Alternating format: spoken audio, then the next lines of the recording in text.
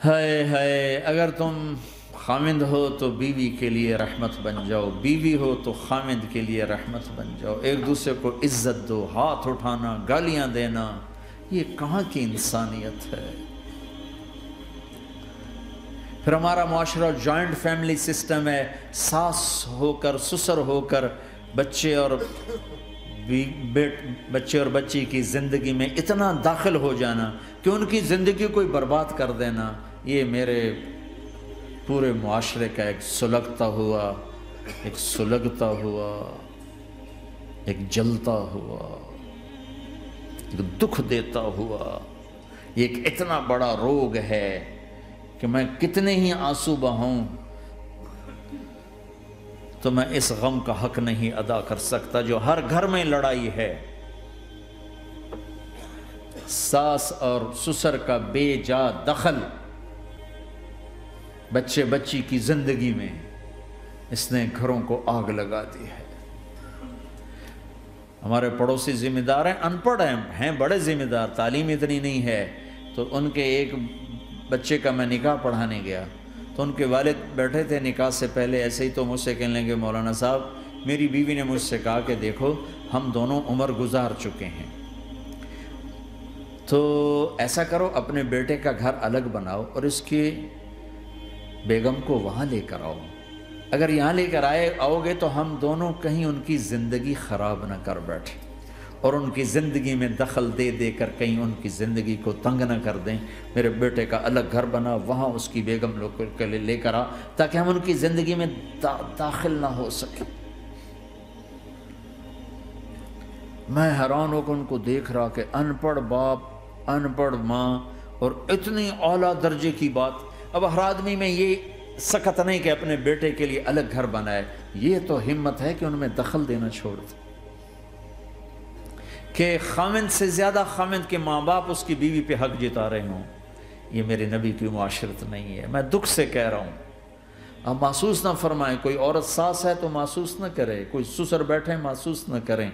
मैं दर्द भरी फरियाद कह रहा ये मेरे माशरे का सुलगता हुआ एक मसला है, एक गहरा दाग है, जिसने ज़िंदगियों को तबाह बर्बाद करके रख दिया है। कहीं उसका उलट भी होता है कि आने वाली लड़की ऐसी बदतमीज़ी करती है कि उसके खामिद के माँ बाप को बेज़त करके रख देती है, रिश्तेदारों से तोड़ के रख देती है। ये केसेस भी हैं, लेकिन ये थोड़े हैं, ये दूसरे वाले ज़्यादा हैं।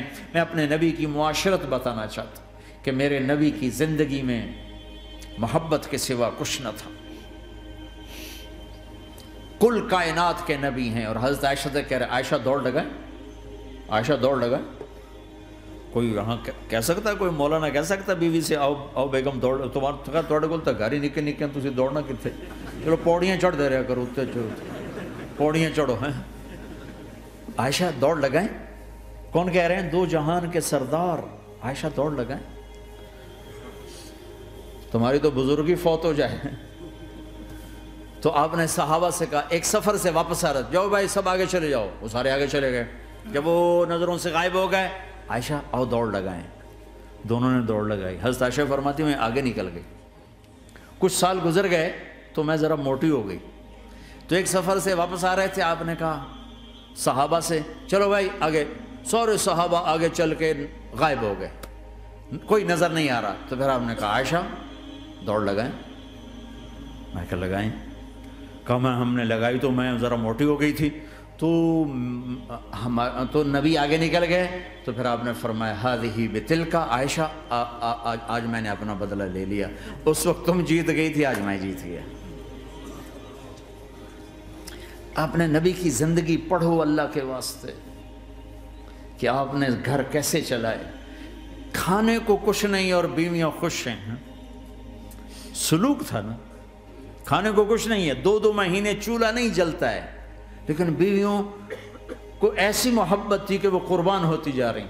और यह सब कुछ देकर घरों में आग है, इसलिए कि बोल ठीक नहीं। न खामिद का बोल ठीक है, न बीवी का बोल ठीक। है और आम तौर पर ज़्यादा चूँकि मर्दों की तरफ़ से होती, कभी औरतों की तरफ़ से भी होती। मैं तो दोनों के लिए बात कर रहा हूँ, इस जबान को मीठा करना सीख लो। अगर अपने घरों को चैन से सुख से भरना चाहते हो तो चीज़ों से नहीं आएगा तुम्हारे सलूक से बिहेवियर से आएगा। अपने सलूक अच्छे करो अपने रवैये अच्छे करो।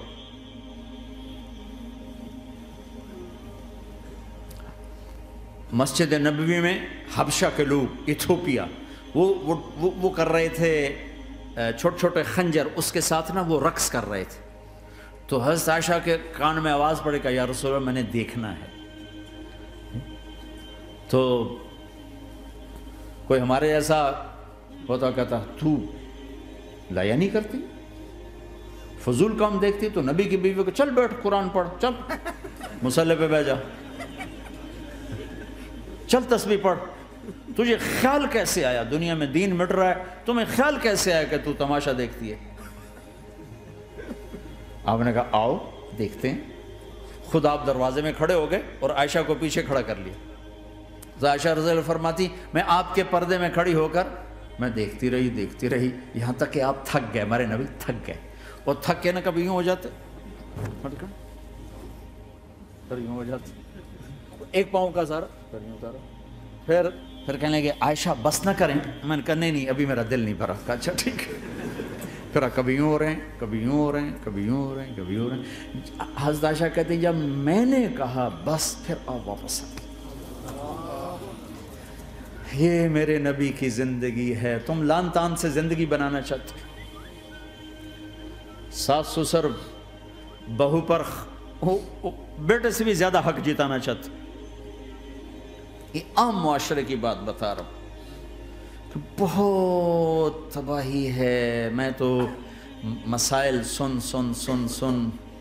मैंने तो अब इस दफ़ा ये इरादा है अब मैं फ़ोन छोड़ दूँगा, नहीं रखूँगा, कि मेरे अंदर हिम्मत ही नहीं रही कि मैं घरों के मसाइल, मेरा कलेजा फटने को हो ऐसे जुल्म हैं, ऐसे जुल्म हैं। हमारा ससुराली माशरा बड़ा ालिम है, बड़ा ालिम निन्यानवे शर निन्यानवे फ़ीसद जुल्म है।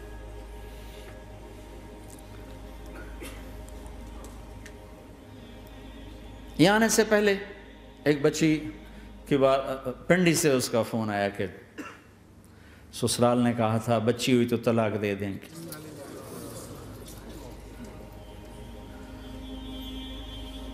बच्ची हो गई। मैंने हाथ जोड़े, पाँव पकड़े, मेरा क्या कसूर है? अल्लाह की तकदीर है। तलाक दे दी। निकाल दिया घर से। हज में दो बच्चे बच्ची साथ थे अभी मेरे हज में। तो वो बाईस तेईस साल का बच्चा था इतनी साल की बच्ची थी तो वो आ, मेरे साथ हज में इकट्ठे थे। तो हम अरफात में थे तो वो बच्चा मेरे पास आ गया और कही बस मौलाना मैं अपने घर से बड़ा तंग हूँ और मैंने फैसला किया मैं जाते अपनी बीवी को तलाक दे दूँगा। मैंने कहा शादी? कितना अर्सा का तीन साल।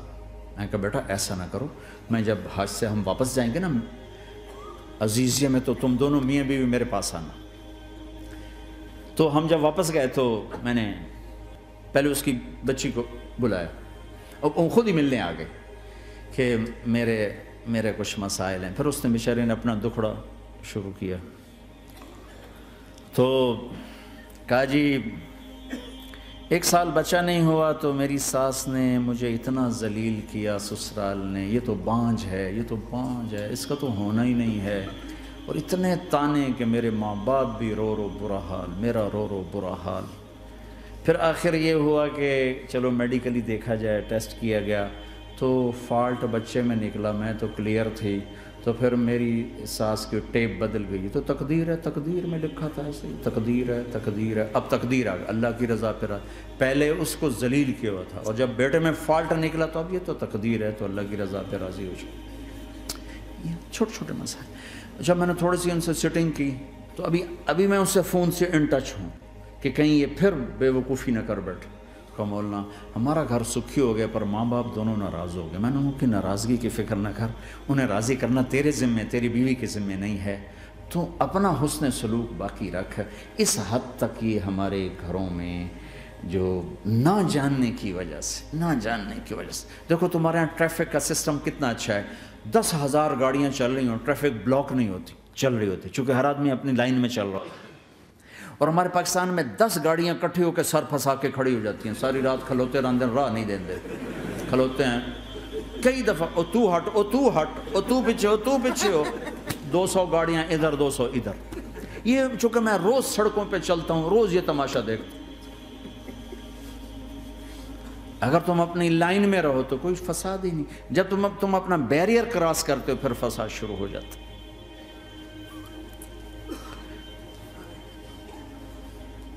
तो भाइयों, अपने नबी की ज़िंदगी सीखो। एक सारा काम, छोटा सा काम, जबान जबान जबान। गिबत छोड़ दो, झूठ छोड़ दो, गाली छोड़ दो, ताना छोड़ दो, तंज छोड़ दो, बुरा भला कहना छोड़ दो। बल्कि हौसला अफजाई करो, तारीफ़ करो। एक हमारी धोबन थी मासी शरीफा, मरहूम, पचासी में फौत हुई सन पचासी। बहुत लड़ाकी थी। तो आगे एक दिन मेरी बहन के पास, कहने लगी, बीबी, मेरी नौ मेरे नाल बड़ा लड़दियाँ, लड़ती आप थी। मैंने कोई तवीज़ दे, सारिया मेरी नौकर बन गया तो वो, मेरी बहन ने ऐसे ना एक कागज़ पर ना, वो कुल लकीरें लकूरें लगा के तो ऐसे बिल्कुल रोल करके कहा कि, मासी शरीफा, जब तेरी लड़ाई शुरू हो ना तो तूने ये तावीज़ यहाँ रखना है।